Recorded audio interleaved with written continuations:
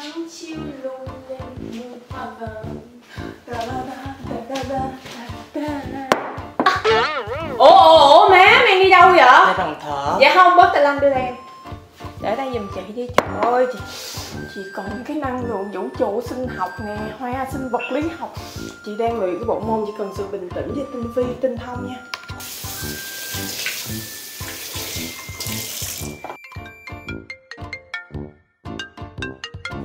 Alo?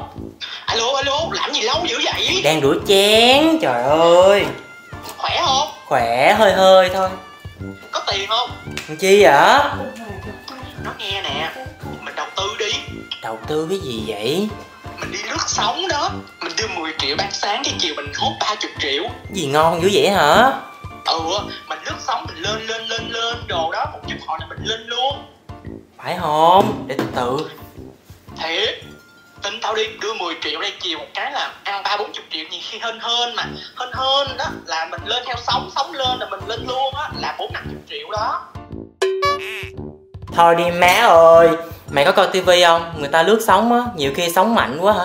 Lật cái dáng luôn mày suy nghĩ nhiều quá giàu ơi người ta nói là sao? Trình độ không bằng trời độ. Chiều nay ông trời ông mà độ là mày lên luôn mày lên trên trở nó chơi dọc luôn hiểu không? Tao nói cho mày nghe nha Hảo. Chơi cái gì hả? Cũng phải tìm hiểu cho rõ ràng kỹ càng. Tao mà giỏi về tài chính tao đứng đi để chén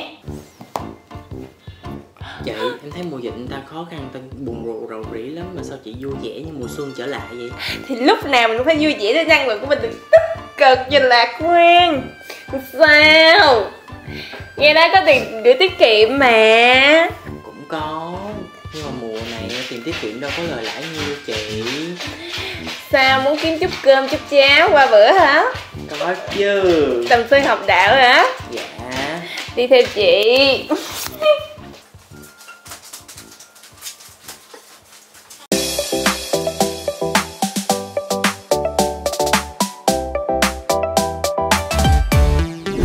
ta nói trong cuộc sống á đôi lúc cũng túng thiếu cũng kẹt tiền dữ lắm, mà nhất là trong cái mùa dịch bệnh nè. Ta nói minh tú á, xô chọn á, lác đác như là sương mai ở ngoài biển cả gì á à minh tú cũng vậy thôi. Nói chung cái mùa này là cũng cũng mong muốn tìm tòi một cái chút gì đó dư giả để mua cái này cái kia. Trong một năm qua với sự lắng nghe tiếp thu kiên nhẫn bình tĩnh tôi đã tích lũy được những cái kinh nghiệm từ đường đời đường trần và đặc biệt là đường vào bờ. Ngày hôm nay tôi sẽ chia sẻ với các bạn một chút về cách kiếm tiền nhé. Như các bạn cũng đã biết qua nhiều tập vlog của minh tú á, thì minh tú xuất thân trong một gia đình phổ thông rất là bình thường. À, một mình mẹ minh tú nuôi dạy ba anh em cho nên từ nhỏ lúc nào minh tú cũng uh, có áp lực về việc uh, tiền bạc cho nên lớn lên lúc nào mình cũng tự chủ động về uh, tài chính kinh tế bởi vì mình nghĩ rằng là mình sẽ có thể uh, tự lập để lo cho cuộc sống của mình giúp đỡ chăm sóc cho ba mẹ mình cũng như là những người thân của mình khi mà họ gặp khó khăn. Khi mà thời gian giãn cách minh tú có thời gian ở nhà nhiều tìm tòi trên mạng xã hội cũng như là trên internet và mình đọc qua nhiều cuốn sách cũng như là tham khảo qua những nhà chuyên môn và mình đã tìm ra được một cái nhân vật khá là hot trong thời gian vừa qua cũng được rất là nhiều KOL cũng như là chuyên gia về tài chính phân tích và review về cái nhân vật này. Và thật sự Minh Tú trải nghiệm thì cảm thấy nhân vật này cũng khá là thú vị. Đó chính là phim hay. Finhay là gì? Finhay là một ứng dụng thông minh hàng đầu Việt Nam trong tích lũy đầu tư vừa và nhỏ, an toàn, uy tín, dễ sử dụng với nhiều lợi ích từ tiền nhàn rỗi của bạn tiền nhàn rỗi là gì biết không? Tiền nhàn rỗi là một cái khoản tiền bạn có sẵn trong một cái thời gian dài nó cố định. Có nghĩa là ví dụ như 3 tháng 6 tháng, một năm. Chứ không phải là hôm nay nhàn rỗi, cái ngày mai đòi rút liền là không phải gọi là tiền nhàn rỗi nha, mấy cưng. Tại sao là uy tín? Bởi vì ứng dụng FinHay được quản lý đầu tư bởi công ty cổ phần quản lý quỹ Thiên Việt. Ngoài ra thì ứng dụng FinHay theo Minh Tú tìm hiểu thì khá uy tín bởi vì hàng năm được kiểm toán bởi công ty Ernst Young. Đó là một trong bốn công ty về kế toán kiểm toán lớn nhất thế giới. Một số quỹ mà FinHay đầu tư gồm có SSEBF là công ty chứng khoán SSE, quá là quen thuộc. BVPF và BVPF là công ty bảo Việt. Đây đều là những tập đoàn công ty lớn và uy tín tại Việt Nam nên phần nào cũng sẽ củng cố sự uy tín của FinHay chỉ với 50.000 đồng thôi là một ly trà sữa đó mọi người là mọi người đã có thể bắt đầu tham gia đầu tư cùng với một triệu người dùng khác của FinHay Giàu ơi, chỉ có 50.000 đồng thôi, nãy nghe nói có 10 triệu đưa 50.000 đồng đây Vậy thì đầu tư ở FinHay như thế nào mà Minh Tú nói là an toàn?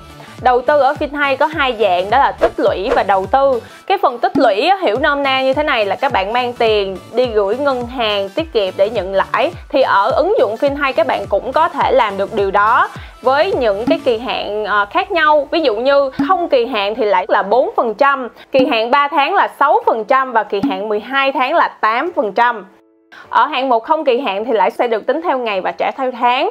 Còn những hạng mục có kỳ hạn thì tiền lãi chỉ được tính khi mà các bạn đã hoàn thành đủ cái thời gian đó và tiền lãi sẽ được tính vào cuối kỳ. FinHay sẽ có một số điều kiện cũng như điều khoản nên các bạn hãy nên tìm hiểu kỹ và rõ chi tiết trên website của FinHay theo số liệu cho thấy thì lãi ở hạng mục tích lũy trên FinHay hiện tại cao hơn ngân hàng. Ờ, có nhiều gói hạng mục để người dùng có thể linh hoạt lựa chọn và được phát hành bởi các ngân hàng lớn như Bản Việt, BIDV vân vân phần thứ hai là đầu tư. Như minh tú có nhắc ở ban đầu á, thì đầu tư có nghĩa là bạn bỏ một cái số tiền vào và sẽ có một cái đội ngũ chuyên gia, họ sẽ sử dụng số tiền đó thay bạn để đầu tư vào các cổ phiếu và trái phiếu. Và chỉ với 50.000 đồng thôi là bạn đã có thể tham gia rồi. Chữ nghĩa nhiều quá, đúng không? Đơn giản là vậy nè mình không có học về tài chính, cũng không có đọc sách, không có tìm hiểu về kinh tế, vĩ mô, vi mô, doanh nghiệp, bla bla bla. Nhưng mà mình người bà mình cũng muốn kiếm thêm tiền, mình cũng muốn tạ giống như là tham gia vào cái lĩnh vực đó. Nhưng mình không có kiến thức, mình không có chuyên môn, mình không có kinh nghiệm, thì mình có thể bỏ cái tiền đó vào. Và có một cái đội ngũ người ta đã học hành, tìm hiểu thạc sĩ, bla bla bla bla bla. Thì người ta sẽ đại diện bạn, chọn ra những cái con, nó thơm, ngon, đặc biệt thì ứng dụng FinHay đã thiết kế ra 6 cấu trúc. Vô nói có sách mắt tôi chấn liền. Đây, tôi, người ta 50 ngàn, tôi đầu tư 200 giữ không? Quả giữ Minh Tú ơi. Đây, bây giờ nè, mình coi nè 6 cấu trúc nè, các bạn có thấy không? Đây là 6 cấu trúc gồm có rùa hoàng kiếm, cò trắng, voi rừng, sao la, trâu nước và báo gấm. Và các bạn lưu ý nha, sáu cái cấu trúc này thể hiện tăng dần về lợi nhuận và rủi ro. Có nghĩa là sao? Ví dụ như mỗi một người sẽ có một cái khẩu vị, người thích ăn cay, mà có người thích ăn cay và mặn, người thích ăn ăn cay mặn ngọt cho nên là người ta thiết kế ra nhiều cái cấu trúc khác nhau để phù hợp với khẩu vị và tính liều lĩnh của mỗi người. Uhm, chưa hết nha. Bạn hoàn toàn có thể theo dõi trên ứng dụng về biến động số dư cũng như quá trình thay đổi của việc lựa chọn một hoặc là nhiều cấu trúc trên FinHay Ngoài ra thì nếu mà các bạn nào có một chút kiến thức cũng như có kinh nghiệm về đầu tư thì có một sự lựa chọn linh hoạt hơn, đó là cấu trúc tự chọn. Với cấu trúc này thì các bạn hoàn toàn có thể chủ động để phân bổ cũng như tùy biến ở các quỹ. Các bạn chủ động được nguồn tiền của mình phân bổ ở đâu với cấu trúc các bạn tự tạo.